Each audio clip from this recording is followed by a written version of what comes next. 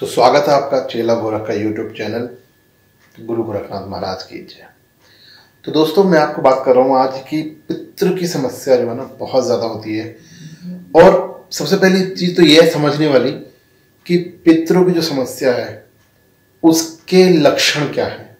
हमको कैसे पता चलेगा कि हमारे घर में पितरों की समस्या है? तो उसके लक्षण मैं बता रहा हूँ। सबसे पहले वो लक्षण समझ लीजिए कि आपके घर में पितरों की समस्या है तो उसके लक्षण क्या है? पहला लक्षण, आपके घर में माता पिता या पति पत्नी में बिना बात की तकरार होना, लड़ाई होना, झगड़ा होना, ज़बरदस्ती, कोई मतलब नहीं है, कोई मुद्दा नहीं है, फिर भी हमेशा लड़ाई होती रहेगी, झगड़ा होता रहेगा। वो एक दूसरे को बहुत प्यार करते हैं, वो एक दूसरे को चिल्लाना नहीं चाहते, वो लड़ना नहीं चाहते, पर वो हमेशा लड़ पड़ते हैं। लड़ाई यहाँ हो जाती है उन दोनों में।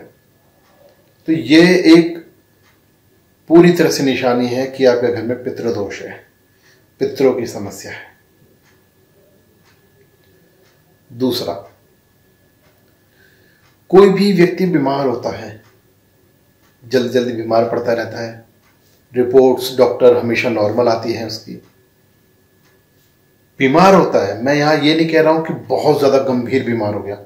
जल्दी जल्दी बीमार होता रहता है, ठीक होता रहता है, बीमार होता रहता है, ठीक होता रहता है।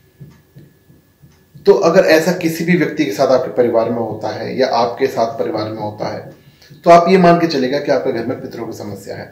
हंड्रेड परसेंट पितरों की समस्या है। तीसरा, आपके घर में ये समझ के रखिए कि जैसे आप कोई नौकरी करते हैं या कोई रोज़गार है, बिज़नेस है, दुकान है, कुछ भी है आपका तो वो चल भी रहा है और नहीं भी चल रहा। कभी भी उसमें नुकसान हो रहा है। मतलब ग्रोथ नहीं हो रही है। उसमें बढ़ोतरी नहीं हो रही है। ठीक है? पर नुकसान हो जाता है। कभी भी नुकसान हो जाता है। कभी भी कोई चीज़ ऊपर नीचे हो जाती है। आपको लग रहा है कि अब बहुत बढ़िया होने वाला है। कोई डील होने वाली है। वो डील रुक जाती है। तो ऐसा कभी भी अगर ऐसा होता है तो आपके घर में पितरों की समस्या है।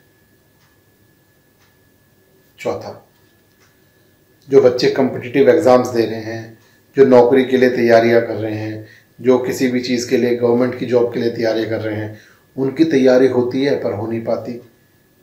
पेपर याद नहीं रह पाते उन्हें एग्ज़ाम के समय पे, या कोई भी चीज़, वो छूट जाती है फेल हो जाते हैं। तो ये सब पितरों की समस्या के कारण होता है, ये सारे संकेत पितरों की समस्या के हैं।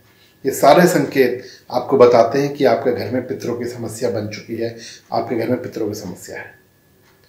तो बंधुओं तो दोस्तों तो मेरे भक्तों, आप किसी के पीछे ऐसे मत भागिए, दौड़िए मत कि किसी ने करा दिया, कुछ भी कर दिया ये समझने की कोशिश कीजिए, पहले आपके घर में समस्या क्या है। उसके बाद कुछ उपाय कीजिए। कोई भी उठा के उपाय मत कीजिए। किसी भी का वीडियो देख के कोई उपाय मत कीजिए। कुछ भी देख लेते हैं, कुछ भी करना लगा लेते हैं, शुरू कर देते हैं आप लोग। यहाँ तक कि चेला गोरख का यूट्यूब चैनल पर जो भैया हैं, उन्हें देख के भी कुछ भी उपाय मत कीजिए। पहले समझने की कोशिश कीजिए आपके घर में समस्या क्या है। अगर जो मैंने आज बताए हैं, इनमें से कोई भी समस्या आपके घर में है तो वो पितरों की समस्या है। वो आपके पितरों की वजह से है।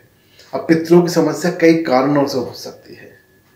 कई वजहों से हो सकती है। ठीक है? आज सबसे, मैंने सबसे छोटी सी वीडियो बना रहा हूँ, ज़्यादा लंबी वीडियो बना नहीं रहा, इसलिए मैं आज मैंने आपको ये बताया है कि पितरों की समस्या होती है तो उसके लक्षण क्या है, ये आप जान लीजिए।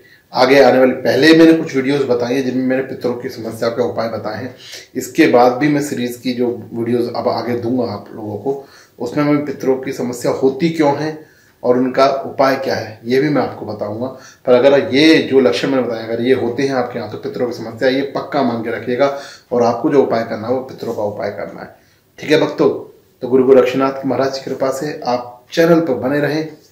जय जय गुरु गोरक्षनाथ जय जय दामाहार